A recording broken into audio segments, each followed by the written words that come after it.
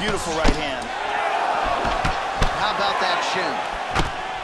There's a nice exchange. Oh! He's out!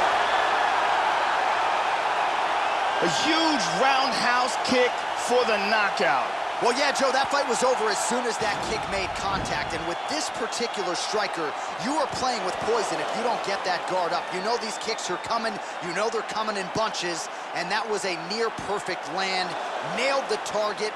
Full extension on the kick. And that's one of the better highlights we've seen here recently inside the octagon. Let's take a look at it from a different angle.